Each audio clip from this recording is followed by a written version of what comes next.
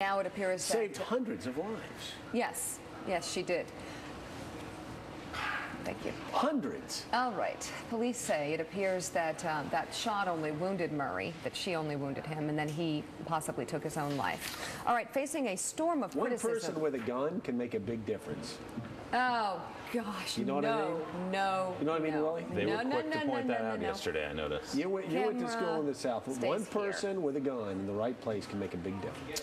You know that For is the good most and for bad. For good um, and for bad. inane For good and for statement bad, I've ever exactly. heard.